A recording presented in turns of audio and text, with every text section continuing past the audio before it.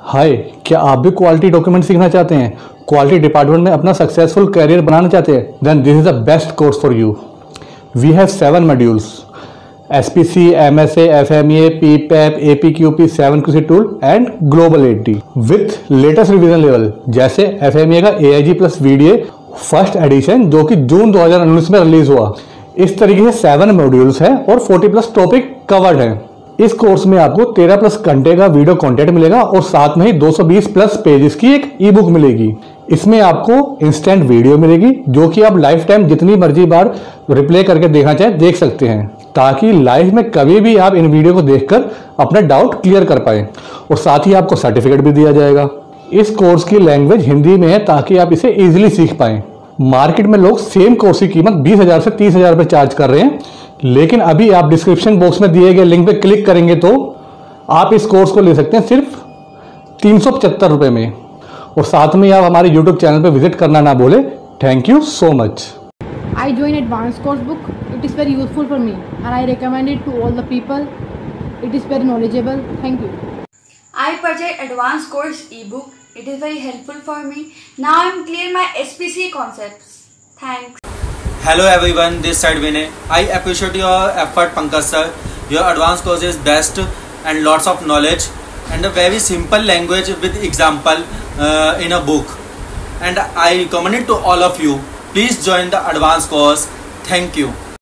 What is cost of quality Cost of quality क्या होती है? As per Phyllis B. Crosby define that the cost of quality has two main components cost of quality के दो main components होते हैं। पहला component है cost of good quality जिसको कि हम कॉस्ट ऑफ़ कन्फर्मेंस भी कहते हैं। और जो सेकंड है, वो है हमारा कॉस्ट ऑफ़ पुअर क्वालिटी जिसको कि हम कॉस्ट ऑफ़ नॉन कन्फर्मेंस भी कहते हैं। तो आज का हमारा टॉपिक है कॉस्ट ऑफ़ पुअर क्वालिटी इसको हम डिटेल्स में समझेंगे।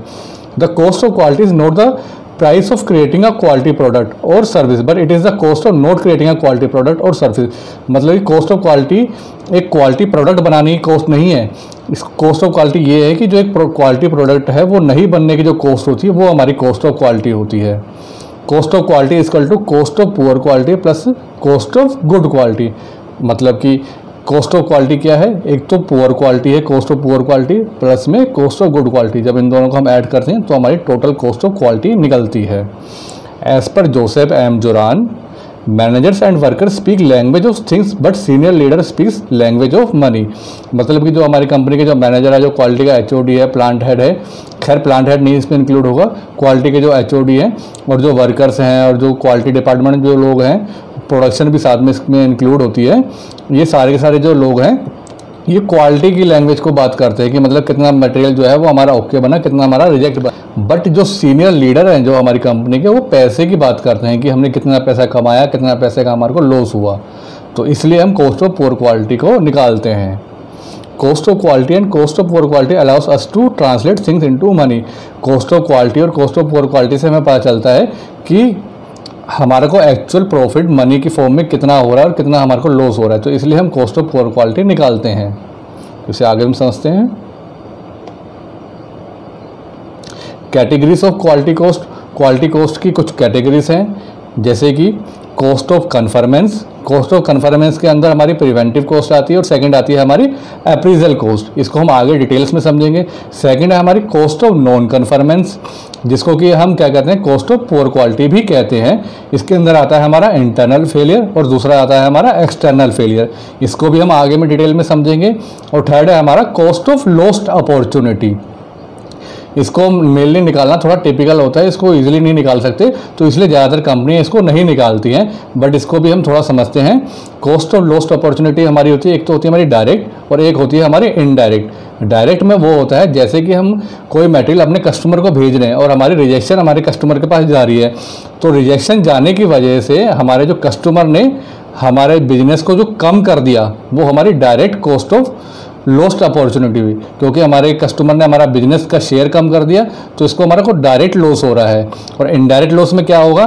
जैसे कि हमारे कस्टमर ने हमसे को बिज़नेस देना बंद कर दिया या थोड़ा कम कर दिया शेयर अब वही कस्टमर जो हमारा एग्जिस्टिंग कस्टमर है, अगर हमारा कोई नया कस्टमर आने वाला है, उसको भी बताया जाता है कि हमारी क्वालिटी ख़राब है तो जो हमारा जो नया बिज़नेस आने वाला था, वो बिज़नेस नहीं आएगा, या फिर जो नया बिज़नेस आना है, उसका शेयर कम रहेगा तो ये हमारा indirect cost of lost opportunity होता है।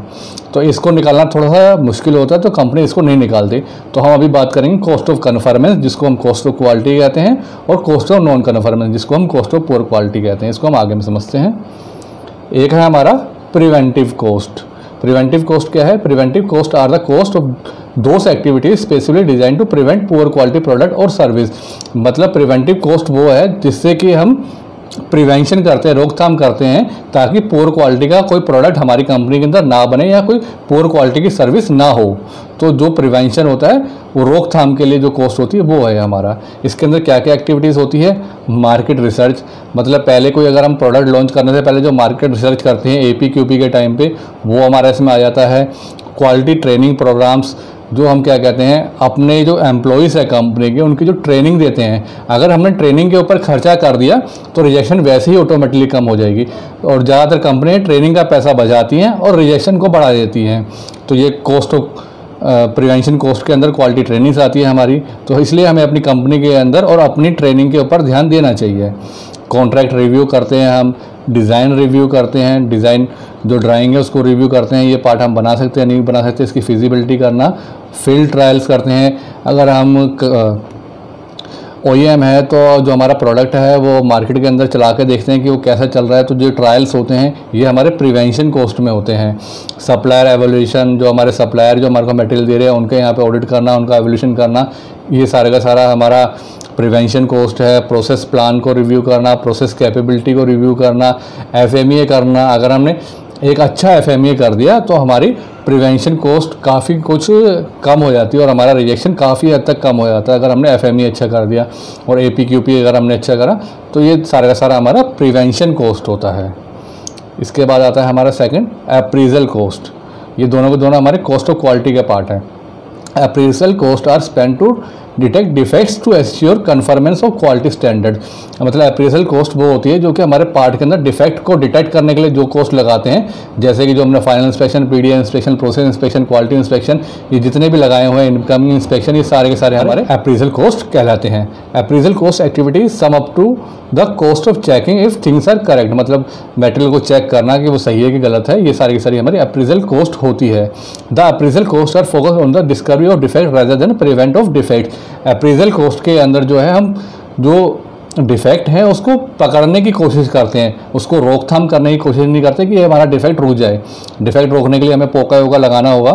तो ऐसा कुछ नहीं करते, बस हम डिफेक्ट को डिटेक्ट करते हैं इंस्पेक्शन के थ्रू। इसके अंदर क्या क्या एक्टिविटीज़ होती है? प्रोटोटाइप टेस्टिंग हो गई जो ए की भी स्टेज के अंदर हम करते हैं। वेंडर सर्विलेंस हो गया, वेंडर के यहाँ पे ऑडिट करके आना। तो ये सारा का सारा आता है। Incoming material inspection process inspection final inspection laboratory testing या measurement calibration non destructive testing destructive testing ये सारी की सारी हमारी अप्रीजल कॉस्ट होती है। इसके बाद आता है इंटरनल फेलियर कॉस्ट जिसको कि हम कॉस्ट ऑफ़ पुअर क्वालिटी भी कहते हैं।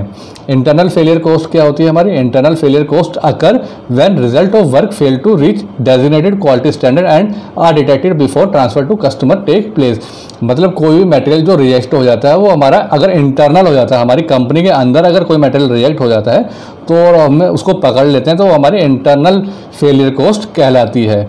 इंटरनल फेलियर कॉस्ट के अंदर हमारे को क्या क्या होता है? स्क्रैप हो गया, कोई मटेरियल अगर हम रिजेक्ट करा तो वो स्क्रैप कर रहे हैं, वो हो गया मटेरियल को रिवर्क कर रहे हैं या रिपेयर कर रहे हैं, ये सारी सारी कॉस्ट हमारी इंटरनल फेलियर कॉस्ट में आ जाएगी। फेलियर एनालिसिस टाइम जो मतलब ग्लोबल एडी या फिर किसी और तरीके से अगर हम एनालिसिस करते हैं कापा रिपोर्ट भरते हैं, वो सारा का सारा जो टाइम लगता है, वो भी हमारी इंटरनल फेलियर कॉस्ट है। एक मैन पावर पूरा दिन लगी हुई है। Action to close NC in internal audit internal audit के टाइम पे जो एनसी है, उसको हम क्लोज कर रहे हैं प्रोसेस प्रोडक्ट ऑडिट कर रहे हैं। ये सारा का सारा हमारा इंटरनल फेलियर कॉस्ट है।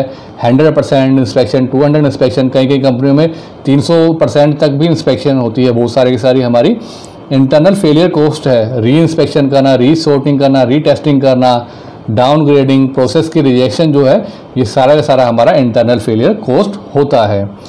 अब इसके बाद है हमारा एक्सटर्नल फेलियर कोस्ट जैसे कि इंटरनल फेलियर कॉस्ट जो हुआ था, वो हमारी कंपनी के अंदर हुआ था। इसके बारे में कस्टमर को नहीं पता चला था। और एक्सटर्नल फेलियर कॉस्ट वो होता है जो कि हमारे कस्टमर के यहाँ पर रिजेक्शन पहुँच जाती है और हमारे कस्टमर को पता चलती है। कस्टमर जो हमारे को इन्फॉर्म करता है, वो हमारी एक्सटर्नल फेलियर कॉस्ट होती है। इसके अंदर क्या क्या एक्टिविटीज़ हैं? Processing investigation of customer complaint जैसे कोई कस्टमर कंप्लेंट आई तो हमारे को उसको इन्वेस्टिगेट करना प्रोसेस करना, ये सारा का सारा हमारा एक्सटर्नल फेलियर कॉस्ट में आता है रिपेयर रिप्लेसमेंट और सोल्ड गुड जो मटेरियल हमने अपने कस्टमर को दिया, उसको रिपेयर करना या रिप्लेसमेंट करना वारंटी क्लेम्स होना product liability and litigation cost हो गई interest charges and delayed payment due to quality problem quality problem की वजह से जो हमारे ऊपर इंटरेस्ट जो चार्ज हो रहा है, चाहे बैंक का हो गया या कोई कस्टमर ने हमारे पे कोई इंटरेस्ट लगा दिया, वो सब हो गए loss of customer goodwill and sales customers के पास हमारी जो गुडविल जो कम हो रही है और जो हमारी सेल्स डाउन हो रही है ये सारे सारे हमारे एक्सटर्नल फेलियर कॉस्ट होते हैं। विज़िट टू कस्टमर अगर कोई कस्टमर कंप्लेंट आ रही है तो हमारे को अब कस्टमर के यहाँ पे जाना है। तो ये भी हमारा एक्सटर्नल फेलियर कॉस्ट है। पेनल्टी फ्रॉम कस्टमर अगर कस्टमर को हमने टाइम पे डिलीवरी नहीं दी, या कस्टमर की लाइन रुक गई तो जो वो हमारा पेनल्टी लगाता है, ये हमारा एक्सटर्नल कॉस्ट है failure cost payment delay from customer और अगर कस्टमर हमारे को पेमेंट भी अगर देर से देता है तो भी हमारा एक्सटर्नल फेलियर कॉस्ट है। कहीं कहीं कस्टमर मैंने देखे हैं, जो कि एक एक साल तक अपनी पेमेंट नहीं देते हैं। तो ये भी हमारी एक्सटर्नल फेलियर कॉस्ट होती है। Size of various quality cost elements मतलब जो अलग अलग जो वेरियस क्वालिटी कॉस्ट है इसका कितना साइज़ होता है हमारी कंपनी के अंदर इसको भी एक बार जान लेते हैं। एक परसेंट तो हमारा प्रिवेंशन कॉस्ट हो, होती है। प्रिवेंशन कॉस्ट मतलब कि ख़राब प्रोडक्ट को बनने से पहले उसकी रोकथाम करने वाली कॉस्ट जो है, वो सिर्फ़ हम एक परसेंट अपनी कंपनी के अंदर लगाते हैं। और अप्रीजल कॉस्ट मतलब जो क्वालिटी के जो लाइन इंस्पेक्टर प्रोसेस इंस्पेक्शन जो भी इंस्पेक्शन का काम जो हम करें, वो जो अप्रीजल कॉस्ट है, वो हमारी चार से छः परसेंट होती है हमारी कंपनी में। और जो हमारा इंटरनल फेलियर होता है कंपनी के अंदर, वो होता है हमारा दस से बारह परसेंट एक एवरेज कंपनी के अंदर। और एक्सटर्नल फेलियर भी हमारा दस से पंद्रह परसेंट के बीच में होता है। तो जो टोटल परसेंटेज इसकी होगी, पच्चीस से पैंतीस परसेंट तक हमारे टर्न का। ये हमारी कॉस्ट ऑफ़ क्वालिटी हो जाती है कॉस्ट ऑफ़ पोअर क्वालिटी हो जाती है ये हमारी। बट अगर हम ये प्रिवेंशन कॉस्ट को अगर हम बढ़ा दें, अगर प्रिवेंशन कॉस्ट को हम 10 परसेंट पे ले आएँ तो ये जो appraisal internal failure cost external failure cost हमारी काफ़ी डाउन हो जाएँगी। बट हम इस चीज़ पर ध्यान नहीं देते। हमारी कंपनी भी ध्यान नहीं देती। अगर प्रिवेंशन हम कर ही लें, एक अच्छा एफएमए कर ले जाए, हम अपने वर्कर्स को कंपनी के एम्प्लॉयज़ को ट्रेनिंग दें और फ़ील्ड फेलियर को चेक करें, ये सब कुछ मतलब एक्टिविटीज़ करें, हम एक अच्छा पीपा बनाएँ तो प्रिवेंशन हमारा पहले ही हो जाएगा। पहले ही हम पोका योका लगा लें काइजन एक्टिविटीज़ करें इम्प्रूवमेंट करें तो प्रिवेंशन कॉस्ट के ऊपर अगर हमने खर्चा कर दिया तो ये सारी कॉस्ट हमारी डाउन हो जाएगी। तो इसी कॉस्ट को डाउन करने के लिए हम कॉस्ट ऑफ़ पोअर क्वालिटी निकालते हैं, ताकि हम जो रिएक्शन जो हो रही है, वो कहाँ कहाँ पे हो रही है, किस किस जगह पे हो रही है, उसको कैसे कम किया जाए, इसलिए हम कॉस्ट ऑफ़ पोअर क्वालिटी निकालते हैं। Why to use cost of quality cost of quality क्यों यूज़ करते हैं? This speaks language of management ये मैनेजमेंट की एक लैंग्वेज होती है. We can prioritize quality improvement projects इसके थ्रू जो है, हम क्वालिटी के जो प्रोजेक्ट हैं, उसको प्रायोरिटाइज कर लेते हैं पराटो चार्ट के through it helps identify waste in system इसके थ्रू हमें पता चल जाता है कि कौन सा वेस्ट है हमारे सिस्टम के अंदर, जिससे हमारी कॉस्ट ऑफ़ क्वालिटी बढ़ रही है, उसको हम कम करने की कोशिश करते हैं या फिर उसको ख़त्म करते हैं। Align quality goals with organization goals मतलब जो क्वालिटी गोल्स हैं, वो कंपनी के जो ऑर्गेनाइजेशन गोल्स हैं, उसके साथ अलाइन करते हैं, दोनों को एक साथ लेकर चलते हैं। Justify money spend on improvement and prevention activities और इससे हम अपने मैनेजमेंट को बताते हैं कि कितनी हमारी इम्प्रूवमेंट और प्रिवेंशन कॉस्ट हमारी लग रही है कंपनी के अंदर। तो ये सब कुछ हमारे को इससे पता चलता है। वन टेन हंड्रेड रूल ये जो है हमारा प्रिवेंशन कोस्ट करेक्शन कोस्ट और फेलियर कोस्ट ये वन टेन हंड्रेड रूल हमारा इस पर फुलफिल होता है। जैसे कि प्रिवेंशन कोस्ट के ऊपर जो है, हम एक रुपये लगा रहे हैं करेक्शन के ऊपर हम दस रुपये लगा रहे हैं और फेलियर के ऊपर हम सौ रुपये लगा रहे हैं। बट अगर हम प्रिवेंशन के ऊपर ही दस रुपये लगा रहे हैं तो यहाँ पर जो ये हमारी कॉस्ट है, ये काफ़ी कम हो जाएगी। तो हमें इसको फोकस करना चाहिए अपनी कंपनी में। अच्छा प्रिवेंटिंग पुअर क्वालिटी जैसे कि प्रिवेंशन कोस्ट हमारी ये है अप्रीजल कोस्ट है रिपेयर कोस्ट है फेलियर कोस्ट है बिफोर क्वालिटी कोस्ट एलिमेंट मतलब पहले अगर हमने कोस्ट ऑफ़ क्वालिटी नहीं निकाला है और क्वालिटी पे हम इम्प्रूवमेंट नहीं करें तो उस टाइम पे पोजीशन हमारी ये थी. इसके बाद जब से ही हमने कोस्ट ऑफ़ क्वालिटी निकाला और प्रिवेंशन के ऊपर जैसे ही हम अपना काम करने लगे तो प्रिवेंशन कोस्ट तो हमारी इतनी बड़ी पर अप्रीजल कोस्ट इतनी घट गई रिपेयर कोस्ट घट गई फेलियर कोस्ट घट घट गई। तो इसलिए हमारे को प्रिवेंशन कोस्ट को बढ़ाना चाहिए। प्रिवेंशन कोस्ट जैसे ही बढ़ेगी हमारी तो ये तीनों के तीनों कोस्ट अपने आप घट जाएगी और हमारा कोस्ट ऑफ़ पोअर क्वालिटी भी कम हो जाएगा। तो इस चीज़ के ऊपर हमारे को ध्यान देना चाहिए। Traditional cost of poor quality cost of quality के अंदर सिर्फ़ हम देखते हैं कि रिवर क्या हुआ इंस्पेक्शन कितना हुआ वारंटी रिजेक्ट्स ये सिर्फ़ हमारे को ऊपर ऊपर से दिखता है। बट ये आइसबर्ग है लॉस्ट ऑफ़ अपॉर्चुनिटी ये कितना सारा जो रिजेक्शन है, ये हमारा कॉस्ट ऑफ़ पावर क्वालिटी होता है। जैसे लॉस सेल सेल्स हमारी लेस हो रही है लेट डिलीवरी कर रहे हैं अनसेफ वर्क प्लेस है एक्सेसिव मटेरियल ऑर्डर्स हैं expending cost long setup time time value of money long cycle time misplaced paperwork जितने भी है हमारे ये सारे के सारे कॉस्ट ऑफ़ पुअर क्वालिटी का एक पार्ट हैं। Sigma level and cost of poor quality इसको भी एक बार हम समझ लेते हैं। जैसे कि आ, हमारे जो सिक्स सिग्मा होते हैं दो सिग्मा लेवल के ऊपर जो है हमारा पीपीएम आपको पता ही है three zero eight five two seven होता है तीन सिग्मा लेवल पे छियासठ हज़ार आठ सौ सात होता है चार सिग्मा लेवल पे बासठ सौ दस होता है पाँच सिग्मा लेवल पे दो सौ तैंतीस डिफेक्ट्स होते हैं और छः सिग्मा लेवल पे तीन पॉइंट चार डिफेक्ट्स होते हैं हमारे पीपीएम में। ये आपको पहले से ही पता है। तो जैसे कि अगर हमारा तीन सिग्मा लेवल के ऊपर अगर हमारा प्रोसेस चल रहा है तो 25 से 40 परसेंट रेवेन्यू का हमारा कॉस्ट ऑफ़ पोर क्वालिटी के ऊपर जा रहा है। अगर हमारा चार सिग्मा लेवल चल रहा है तो हमारा 15 से 25 परसेंट जो रेवेन्यू है, वो हमारा कॉस्ट ऑफ़ पोर क्वालिटी के ऊपर जा रहा है। और अगर हमारा पाँच सिग्मा लेवल है तो पाँच से पंद्रह परसेंट हमारी कॉस्ट ऑफ़ पोर क्वालिटी है। और अगर हमारा छः है तो एक परसेंट जो है हमारा रेवेन्यू का कॉस्ट ऑफ़ पोर क्वालिटी पर जा रहा है।